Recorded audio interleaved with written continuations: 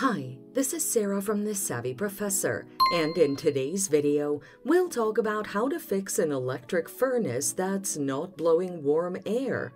Watch the video until the end to learn how to do this and more. Here are common reasons why your electric furnace isn't blowing air and how to fix them. A clogged furnace filter. A clogged furnace restricts airflow, which can be solved by cleaning the filter in a cycle of every 90 days. Poorly installed or incompatible thermostats.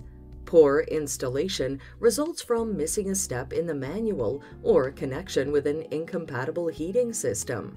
Contact a professional to fix this. A clogged condensate lines. These lines regularly accumulate dirt while draining water away, which leads to clogging. To correct this, contact a professional to clean the dirt off. Malfunctioning gas valve. This occurs because dirt and debris lead to clogging. Solve this by cleaning regularly or replacing it if it's old. Otherwise, contact a professional for regular maintenance.